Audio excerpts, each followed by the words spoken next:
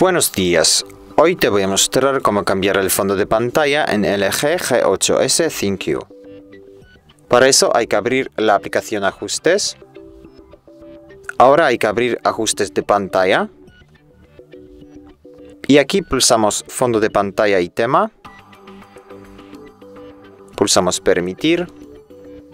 Y ahora podemos establecer un fondo preinstalado o elegir una de las fotos de nuestra galería. Pulsamos aquí. Pulsamos Permitir. Elegimos una foto. Aquí podemos editar un poquito la imagen. Pulsamos aceptar. Aquí podemos establecer pantalla de inicio y pantalla de bloqueo.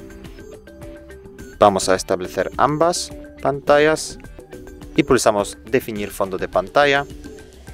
Esperamos un poquito y ya está. Como ves el fondo de pantalla ya está cambiado y la pantalla de bloqueo también.